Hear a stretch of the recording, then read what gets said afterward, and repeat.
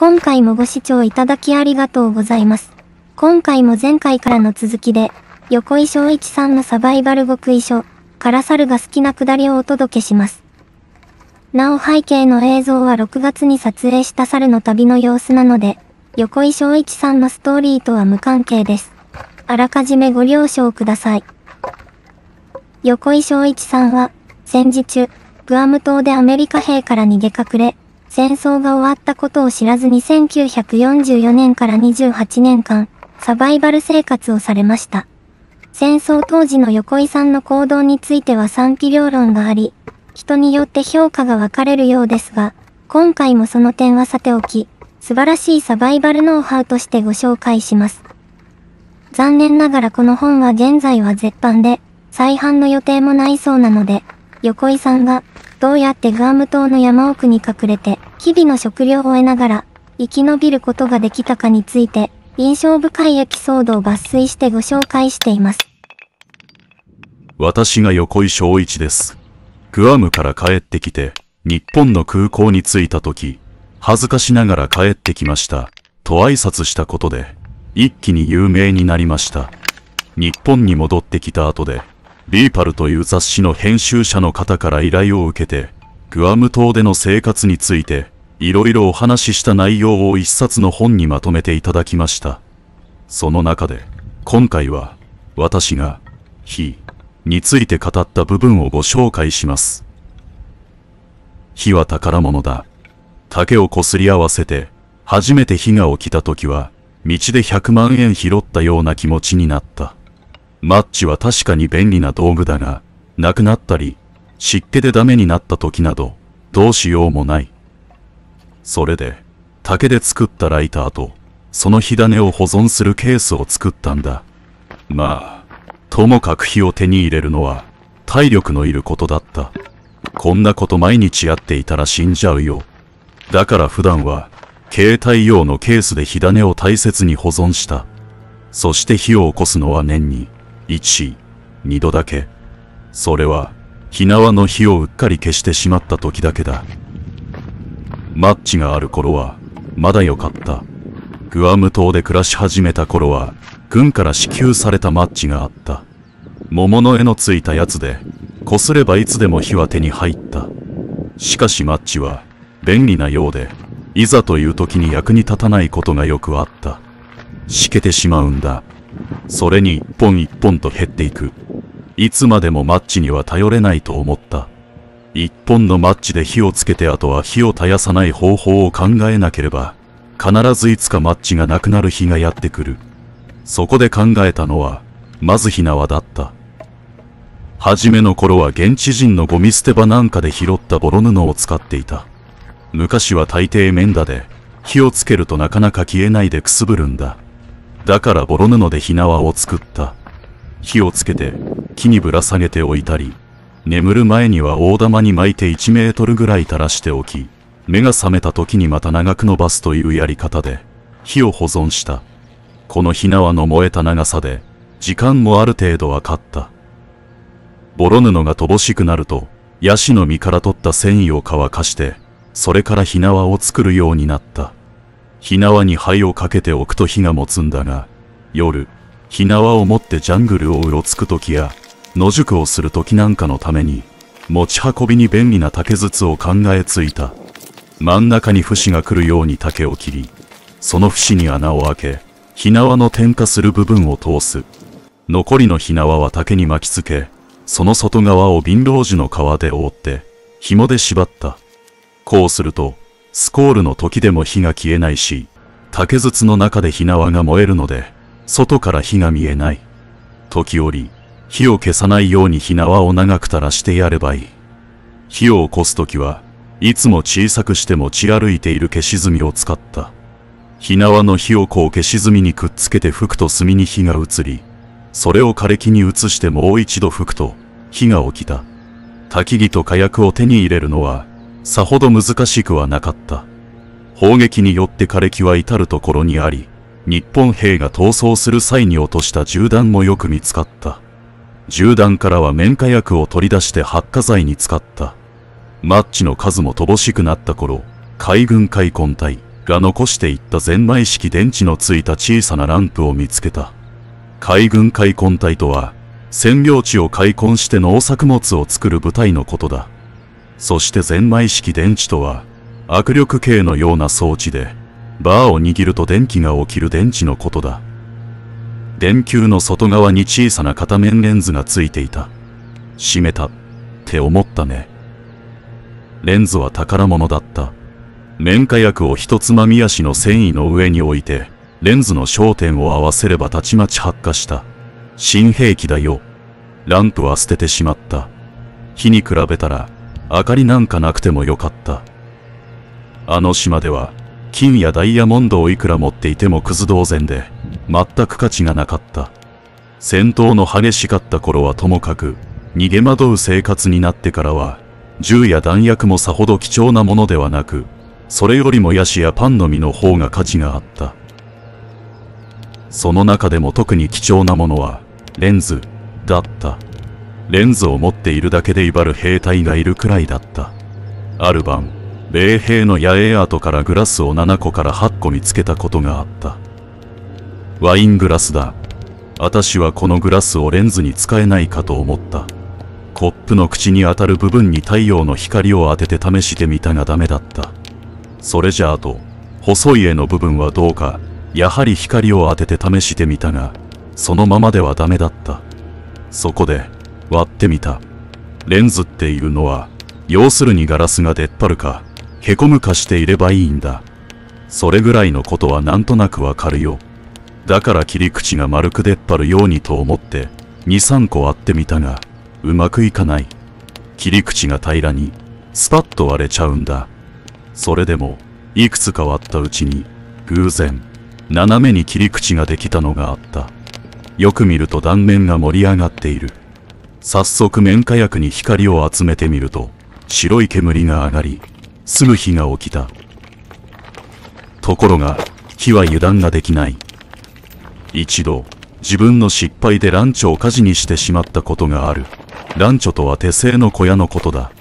一人で暮らしを始めたばかりの頃だった。私は裸で、夢中で、鉄かぶと鍋でヤシ油を作る作業をしていた。と、焚き木が何かの拍子でパッと外れた。火が油に移る。慌てて水をかけたのがいけなかった。あっという間に火は天井を焦がし始め、私は逃げ出すのが精一杯だった。マッチもレンズも、パムの繊維で作った洋服も何もかも、すべて失ってしまった。手元に残ったのはランチョの外に置いてあったヤシの実数個だけだった。それでも生きていかなければならない。私は丸裸で、しかも何も持っていない。いっそ死んじまおうかと思ったが、すぐに、こんなことで負けてなるか、時を取り直した。いつも絶望の淵に立たされると、そうやって自分を奮い立たせるのが習慣になっていたんだ。ともかく私は、文字通りの裸一貫からやり直さなければならなくなったんだ。ただでさえ何もなく、なんとか生活に最低限必要な道具を手に入れて、やっとの思いで暮らしていたところに、その道具類も何もかも、すべて失ってしまったのだから、本当にどうしていいのかわからなかった。あれは本当に試練だった。ともかく私はいつまでもすっぱだかでいるのも落ち着かず、まずやしからでなんとか腰みのらしきものを作り、途方に暮れながらも、まず隠れ場所を探した。川の中の島になっているところに、ヨシがたくさん茂っていた。そこまで敵兵はやってこない。頭ん中は空っぽだったが、身についた習慣で、足跡だけはきちんと消して歩いた。ヨシの中に逃げ込み、周りから茅を集めてきて簡単な屋根を作った。ただし、火はなかった。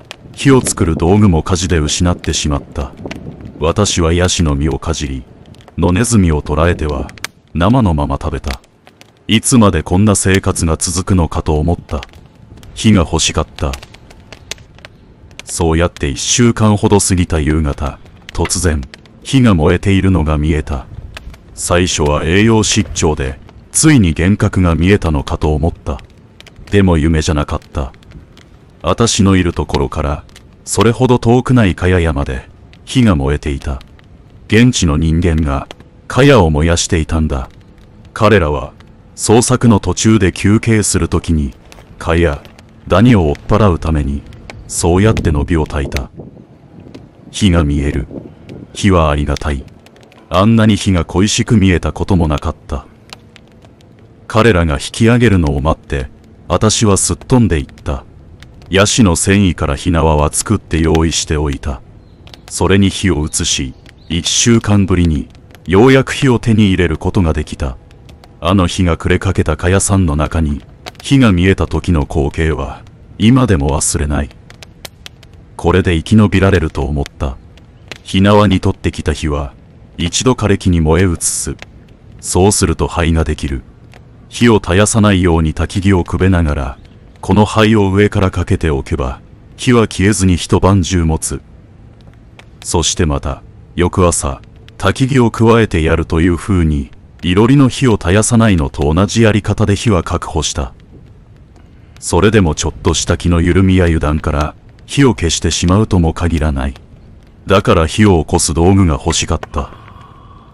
木をこすると火が起きるのは、山火事の原因から知っていた。貧乏樹の木で試してみた。しばらくこするとこすった部分が焼けて黒くなった。しかし綿火薬を近づけても発火はしない。もっと軽い木でやってみよう。それで竹を使ってみた。必死になってこすると、焦げ方が今にも火が起きそうだった。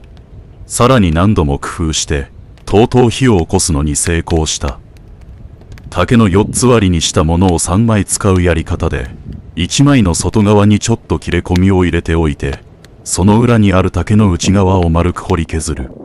そこに綿火薬とヤシの繊維を入れ、それが飛ばないように、もう一つの竹で上から蓋をする。この2枚重ねの竹を両手で持ち、最初に入れた切り込みと、もう一つ3倍目の竹の縁を十文字にしてこすり合わせる。5分ぐらい必死にこするうちに熱くなり、火薬に点火する。それと同時に素早く口で吹き、火縄に点火する。初めて火が起きた時は、嬉しくなって、まるで道端で100万円拾ったような気持ちになったよ。火は宝物だった。体を温めてくれるし、物を食べやすくしてくれた。そして、いつも心を和ませてくれた。火はありがたかった。横井さん、ありがとうございました。視聴者の皆さんは、キャンプでの着火や火起こしは、どのようにされてますか？現代だと、マッチやライター、トーチ型のバーナーやファイヤースターターなど、いろんな着火方法を楽しんでおられる方も多いのではないでしょうか。キャンパーだと、ライター一つとっても、ジッポや、イムコから、外の定番ライターや、岩谷のガスマッチなど、いろいろあって楽しまれてますね。また最初に火を灯すためのほ口や、炎を少しずつ育てていくときに使う燃料のチョイスなども、楽しまれている方が多いとに思います。横井さんのサバイバルとは違い、レクリエーションとしてのキャンプの火起こしは楽しいものです。猿も、よく漫画で見るような、弓切り式の着火方法など試してみたいと思うこともありますが、映像に映っている旅の間は、ごく簡単に着火できる、ファイヤーライターズばかり使ってました。視聴者の皆さんも、お好みの着火具や、その時に使う燃料などがございましたら、ぜひコメントで教えてください。また猿が編集した横井さんのストーリーに誤りがあったり、お気づきの点がございましたら、コメントで他の視聴者さんに共有いただけると幸いです。これからも引き続き、横井翔一さんのストーリーから、猿が印象深かったくだりをピックアップしていきますので、ご興味あれば、チャンネル登録と高評価ボタンもよろしくお願いします。また、この動画に興味を感じてみていただけるような方は大変レアなので、再生回数は非常に少ないと思いますが、横井翔一さんの手記自体が、サバイバルノウハウとして価値がある内容なので、猿に可能な範囲で続けていきたいと思います。なお、名古屋にある横井翔一記念館は現在休館中のようですので、概要欄にリンクを掲載しますが、ホームページに記載された電話番号にかけると、現在使われておりません、とアナウンスが流れますのでご注意ください。それでは、次回もお楽しみに。今回も最後までご視聴いただきありがとうございました。